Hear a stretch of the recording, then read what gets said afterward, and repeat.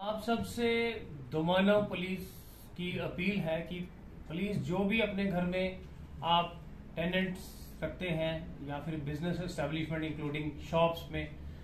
किसी को अपने किराए पे दी है तो इन सब की verification from concern police station करवाना ज़रूरी है, जिसमें कि एक एग्जीक्यूटिव ऑर्डर जो है कंसर्न डीसी डीसी जम्मू से निकला है,